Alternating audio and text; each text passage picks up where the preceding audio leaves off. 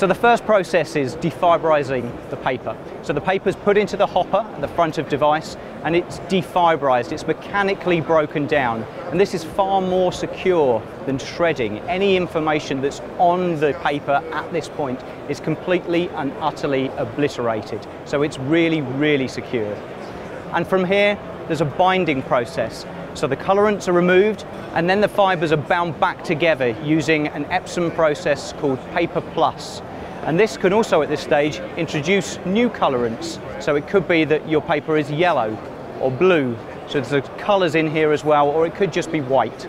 So then those paper fibers are deposited on a thin layer and then it's formed. So under pressure, the paper is formed into sheets. And as it exits the paper, just before it does, it's then cut to size, whether it be A3 or A4. So that's the technical process. What about the benefits? So this machine has real value. So firstly, it comes in the form of security. As I've already mentioned, the process completely obliterates any information that's on that paper. So it's not like shredding, where you can get your sellotape out and tape it back together.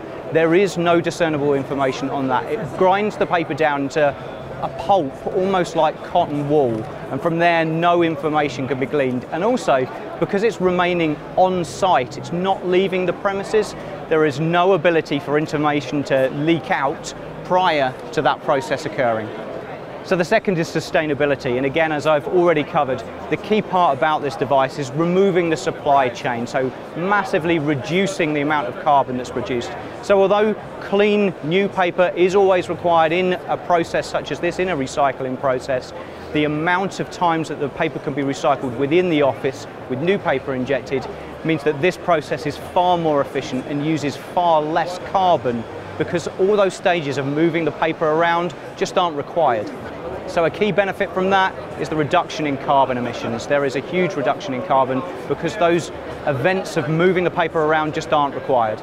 So it massively reduces the amount of new paper required as well. And then from a productivity aspect, we're able to create paper on demand. To start off with, it produces paper at the rate of 12 pages per minute, so that's 720 pages per hour. And the first page comes out in about three minutes. And what color would you like that paper? Again, on-demand paper creation, so the paper can be colored from within the device and also varying thicknesses. So this will produce paper that's suitable for office use, for standard paper for the copying devices or printing devices, and also it can produce thicker cardstock, so up to 240 gram cardstock. So the benefits of this device have come from Epson's innovation. Epson spend 5 to 6% every year of our revenue and put that back into innovation. It's absolutely what we do, it's who we are. We develop our own products in-house and this device, again, is absolutely part of that. And again, one of the benefits of having it in-house are that we can take feedback and quickly adapt the machine. We can really develop it and hone its use for exactly maximum efficiency.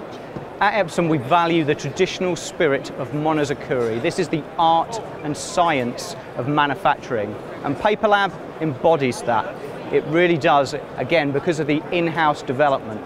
So what does it mean for us now? Well, in Europe, the product's still a little while away. So autumn 2018 is when this product will be available for market in Europe. Paperlab is aimed at offices as it stands, but the idea is we can develop this product into consumers' homes even, but certainly industrial and commercial processes. The idea of this is to be absolutely indispensable to people's lives. That is the value that Epson seek to be able to add. So for the future, Within about three to five years, we aim to make this device more compact so it can sit alongside one of our high-speed business inkjet devices. So within the office, you can really have a recycling movement from device straight to recycle, back to device. There's real value in being able to offer this as a, a behavioural change within the office. And while we recognise that this is a behavioural change, it's a habit change, we aim to be able to deliver the devices to empower our users to be able to offer this.